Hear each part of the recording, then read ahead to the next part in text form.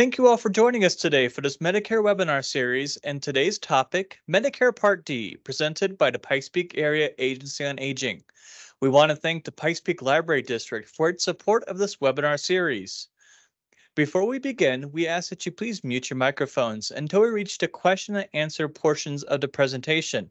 You can also use the raise hand function in the Teams toolbar at the top or at the bottom of your screen, or the chat area to let us know if you have a question. And now it's my pleasure to introduce our presenter, Barbara Sigmund of the Pikes Peak Area Agency on Aging. Barbara, it's all yours. Thank you, Jared. Welcome, everyone. As he said, this is going to be Medicare Part D, where it's pretty short, so we're going to have plenty of time. If you have questions, please just put them in the chat and I'll stop periodically and we'll get them all answered for you. It's a small group, so if you have questions, let's hear them. Next slide, please. Our mission here at the Pikes Peak Area Council of Governments and the Pikes Peak Area Agency on Aging is to help older Americans remain in their home by removing those barriers for independent living. We have advocates and leadership that is set up to help those folks and, and to keep them in their homes. And it is right now we're El Paso, Park, and Teller counties. And the SHIP plan, the SHIP organization though has more more counties if you've heard that before. But the Pikes Peak Area Council of Government basically covers El Paso, Park, and Teller counties. Next slide. I work for the SHIP program, which is the State Health Insurance Assistance Program. We counsel Medicare beneficiaries with free and unbiased, in depth, one on one assistance for all things Medicare. We cover nine counties El Paso Park, Teller, Lake, Custer, Chaffee, Fremont, Humana, Humana, Huerfano, and Los Animas. You'll see that, that we have our Colorado Springs numbers there. You can jot those down if you need to. It'll take just a second or two. Next slide, please. The Administration for Community Living is the administrator for the SHIP program, and they are periodically, and, and right now this has been an ongoing, uh, they make calls to find out your satisfaction with the SHIP program. Did you have a one on one? So we're required to enter those into the computer is how they get your information. The surveys are used to provide funding, and since all of our services are free, we can use all of the funding that we need. As as it's been said in the news, and we've heard it over and over, the population for this age group has increased tremendously, but the funding has been lagging sorely behind, as in with most programs. Next slide. So just a quick review of what we've covered so far in this series. We talked about Medicare Part A, which is your hospitalization. We talked about how you get it, how much it costs, and what does it cover. We did Medicare Part B. And once again, how much does it cost? What does it cover? And how do you get it? Those are your original Medicare benefits. Next slide, please. And last week, we talked about Medigap plans or Medicare supplements and Medicare Advantage plans. How do you enroll in one? What does it cover? What does it cost? And when can you enroll in it? That's very, very important. Next slide. So, as we've said over and over a couple times here, tonight is Medicare Part D. That is your prescription drug coverage for Medicare. Next slide. This is the prescription drug benefit. So it's for outpatient drugs only. So those, the doctor gives you a slip of paper that's got a prescription on it. You take it to the pharmacy, you get your medication. This benefit went into effect in 2006. Before that, there was no outpatient coverage at all for drugs, and it was all out of pocket the plans that that they've come up with all have formularies all the insurance companies pretty much have formularies and that's basically just a list of drugs that they're going to cover. Uh, Medicare requires that they include a range of drugs in each category. You're going to pay a monthly premium if you get a standalone Part D plan. Sometimes you pay it with an Advantage plan. It just depends on whether or not there's a premium for for the plan. There's typically going to be deductibles and co-payments unless you have extra help. And that would be to pay the cost for people who are low income and low resources. Next slide. It's it- so many people come in with the question of should I enroll in Part D? I don't take any drugs. Well, Part D, like everything in Medicare, is optional. If you don't want to take Part A or B or D, that's entirely up to you.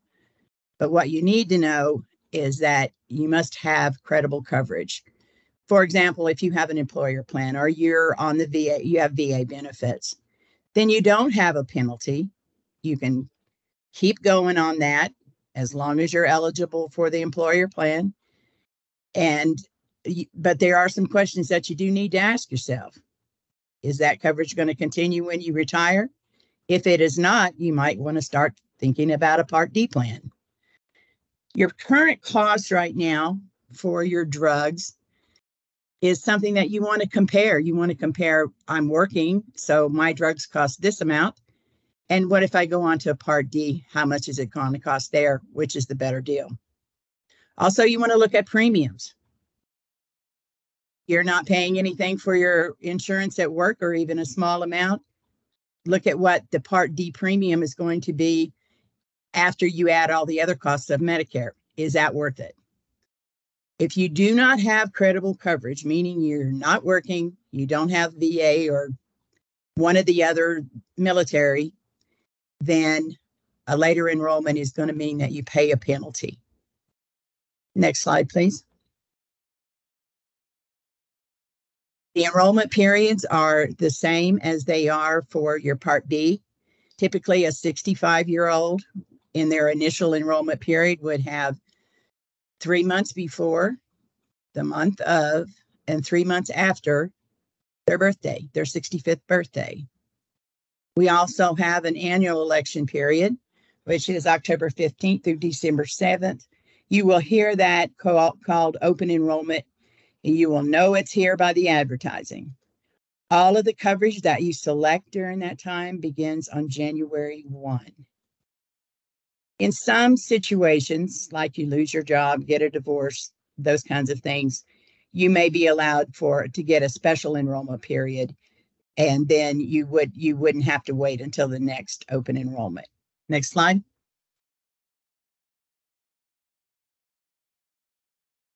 Part D penalty. If you're waiting to enroll, it could mean a penalty. And and that's if you don't have credible coverage. The penalty for a Part D plan works a little bit different than the one for the the Part B. If you remember, uh, the Part B is 10% per year for every year you don't have credible coverage. The Part D penalty is 1% premium increase for every month that you did not enroll and you, and you did not have credible coverage. So the the the national average benchmark plan right now is $32.74 a month. That's for 2023. So if you didn't enroll for 12 months, you would have a 12% penalty. That's 12% times 3274, two years, 24, 36, and so on. These penalties, like all Medicare penalties, will be there forever. If you have extra help, they usually will not charge you for the, any of the penalties. They'll take that off. Next slide.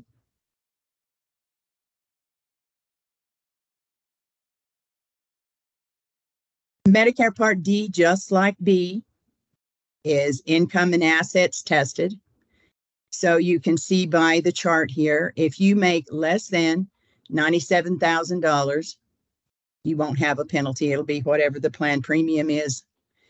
But if you have 97,000 up to 123,000, then you will have a penalty. And you can see over to the far right, $12.20. Um, That Uh, Social Security determines what these are going to be. I don't know the exact formula. Next slide. Where, let's stop here for just a minute and let's talk about whether you have any questions. Do we need to go back over something?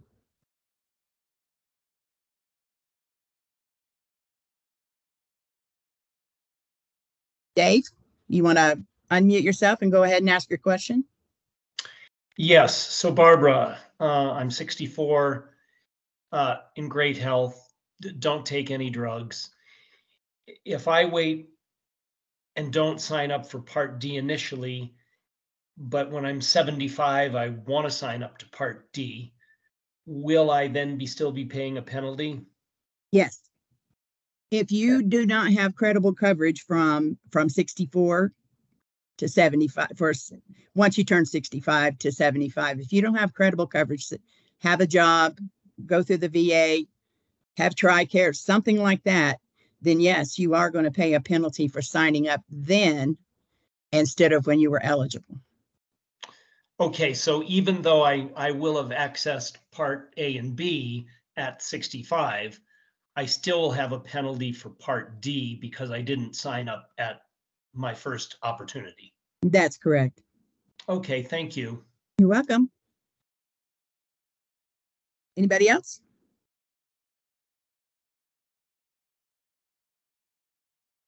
Barbara, I'm not seeing any other hands raised and I'm not seeing any questions in the chat. Okay, well, let's go on then. Next slide. So let's talk a little bit about how the plans work. It's four phases. The first phase is the deductible phase. During that time, you're going to pay 100% of the cost of your drugs up to $505. When you've met that deductible, you go into the in, initial coverage. Typically, the drugs, they, the plans can charge you up to 25% of the cost of the drug, but usually they don't. Not when it's a generic tier one drug. Sometimes you'll get it for zero, but maybe just a few dollars, but they can charge you 25%. That's the maximum. The initial coverage, that is when you have have paid up to $4,660. That's the cost of that you paid and the cost that the insurance paid. Then you go into what is called the coverage gap or may have been explained to you as the donut hole. Even though you might have been getting those drugs for a lesser cost before, what you're going to be paying now is 25% for generic and 25% for brand. And you will pay the 25%. That's what the donut hole or the coverage gap is. So when you reach a total of $5,865, and that is the 4,660 that you had originally, and then the 25% that you paid.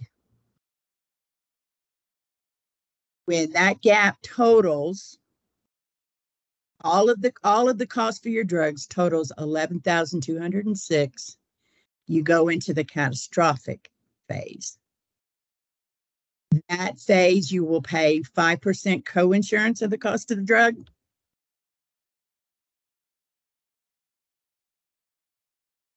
Sorry about that. Or $4.15 and $10.35 for a brand on uh, or on non-preferred generics. The plan pays 15%, Medicare pays 80%, and then your 5%. Next slide, please.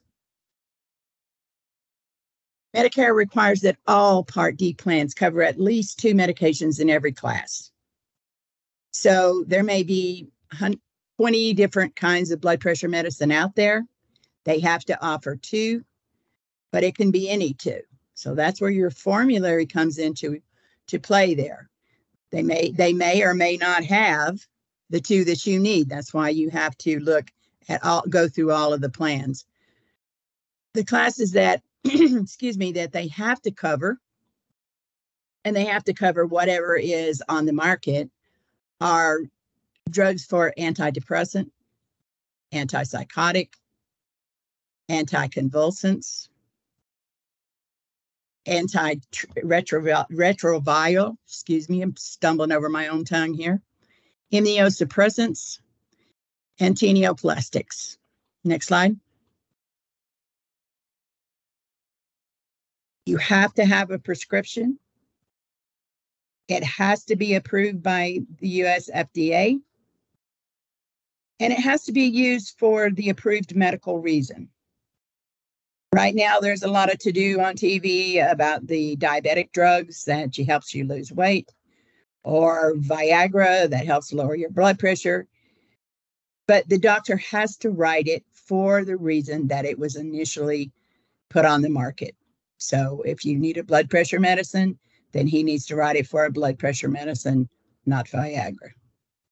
They must cover drugs, biologicals, and insulin. They have to cover the medical supplies for injecting insulin. That's the syringe, the needles, the alcohol swabs. Brand names and generics have to be on the formulary. Next slide. What does it not cover? It doesn't cover drugs that are under Part A or B. So if you were in the hospital and you received medication, it doesn't cover that.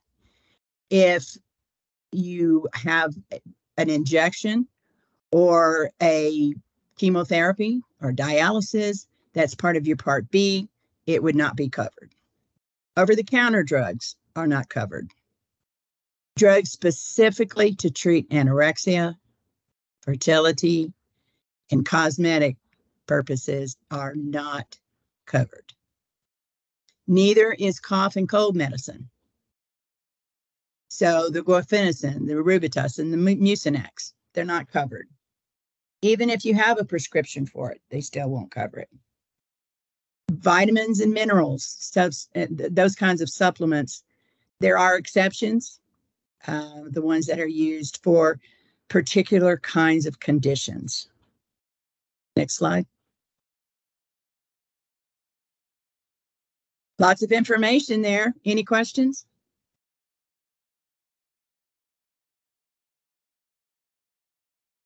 Seeing anything, Jared? I'm not. If anyone wants to raise their hand or put something in the chat, and I'm kind of stalling for time. I'm not seeing anyone doing either one, so I think we can continue. Me too, uh, but I told you this was short, so it's not it's not going to be a very long presentation. So if you have low income or just not enough income, you can apply through the Social Security Administration for extra help. If you're already on uh, SSI or Medicaid or a Medicare Savings Program, you will automatically get that extra help. There are several levels. It depends on what your income and assets are. So they may pay um, 50%, 75%. It just depends on, on what you make. The way you uh, enroll in that is to go to ssa.gov and there will be a block on there that says get help paying for drugs. You can call them up at 800 772 1213, or you can come down and see us at the SHIP office or the SHIP office that's in your county. Each state, every county in the state has a SHIP office. You may can only access it by phone, but they have one. Next slide. So these are the extra help guidelines. A single person making 1,843 or a couple making 2,485. The maximum total assets for a single person 16,660 or a couple at 33,240. This does not include your house. It doesn't include your primary vehicle, but extra vehicles now will be counted as an asset. It doesn't count your furniture, your jewelry, or anything like that. It does count what is in your checking account, your savings account, CDs, IRA, stocks, bonds, any kind of money that you can put your hands on right away, it will count. These numbers are based on a $20 disregard, but these are the numbers that you would use just to determine if you are close. And if you are, go ahead and apply. If you are not, if you make way over, then very likely you're not going to be accepted. Everyone is still able to apply, but that doesn't mean that everyone's going to get approved. Next slide. There are patient assistance programs out there that allow those that are making higher incomes to get a help paying for the drugs. These this help normally comes directly from the manufacturer. The application is based on a tax return. It, it may only help you in the donut hole period. Depends on the plan.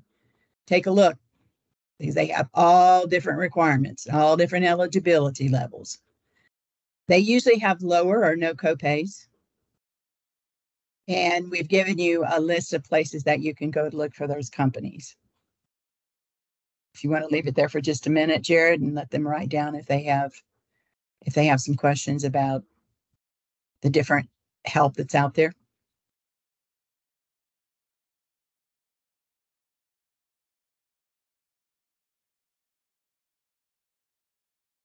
Okay, we can move on to the next slide.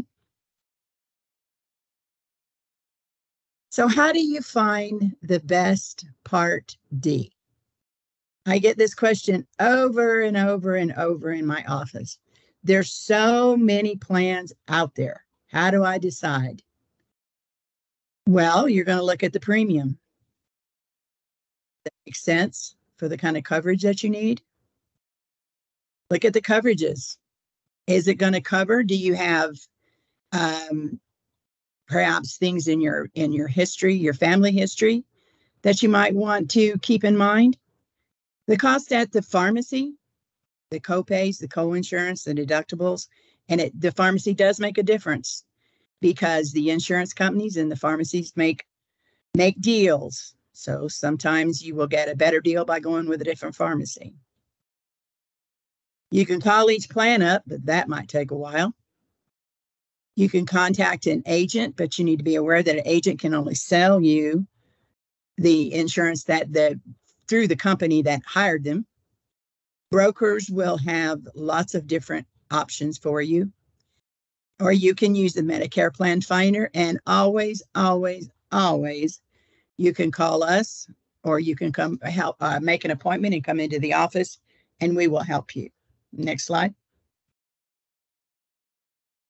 The Medicare Plan Finder. This is usually your most effective way to find a good plan, one that meets your needs.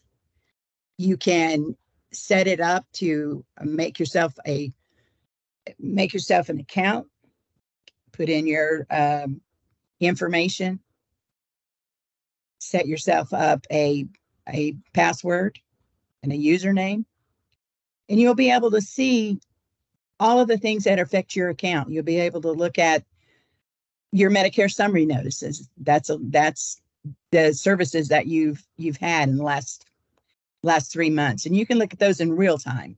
Right now, you're getting those summary notices only every three months. So you may forget all about the questions that you had three months ago when you saw the doctor and how you were being charged. So it's a good idea to set up an account but what I think is the most important thing there is the fact that you can see what drugs you put in last time. Because if you have an account, it will keep those drugs listed for you and you don't have to put them in again. But you certainly are allowed to just put it in by zip code and take a look just to get some estimates. You do not have to set up an account. But beware if you have a whole list of drugs, you're going to have to put those in every time you go back into the to the uh, Medicare.gov. I don't might or not.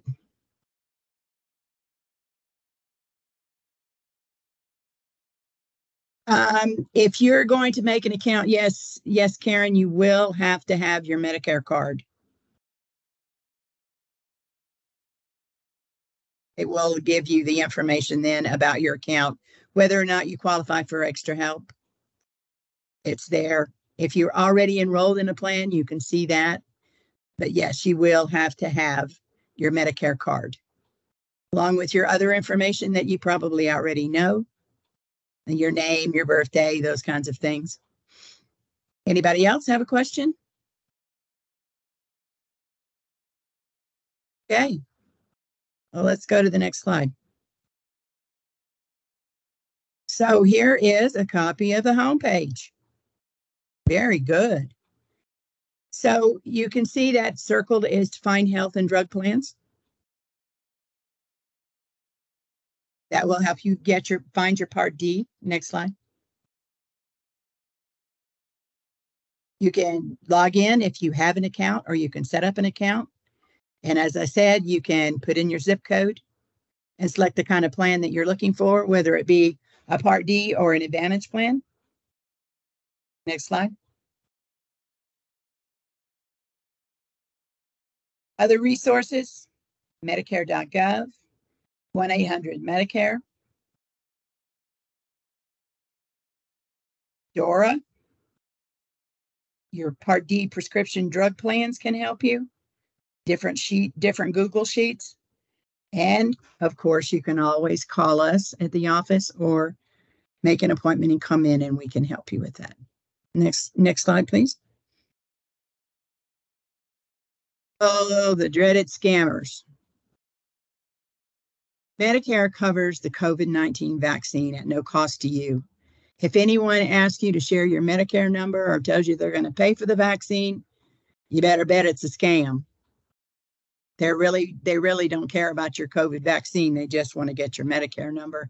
That's a very valuable piece of information for scammers.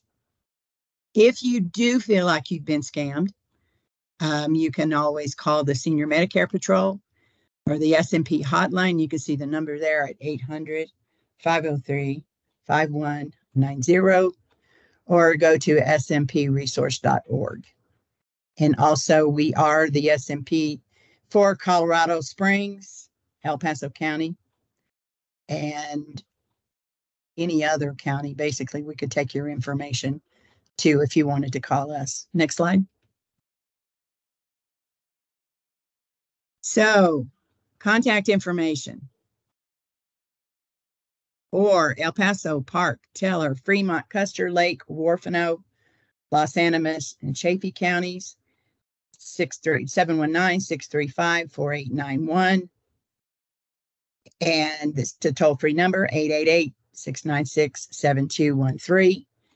You can also go um, online for senior insurance, well, senior INSUR at ppacg.org. Next slide.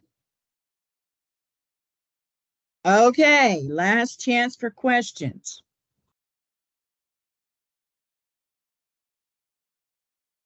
Well, I shouldn't say last chance. You can always email me or you can email Roma and ask your question, or you can call us up on the phone. There's the numbers once again. Make an appointment and we'll, we'll help you.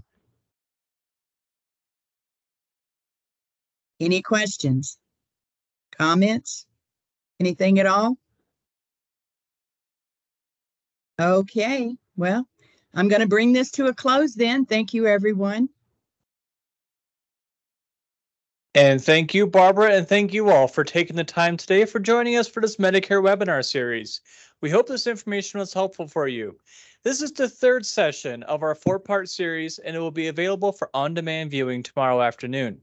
Next week's topic is Medicare, Medicaid, and other health insurance options, what you need to know. You'll receive a survey after this webinar is complete, and we would greatly appreciate your feedback on your thoughts on this webinar and how it can be improved. Thank you again. Thank you again for attending, and please have a great day.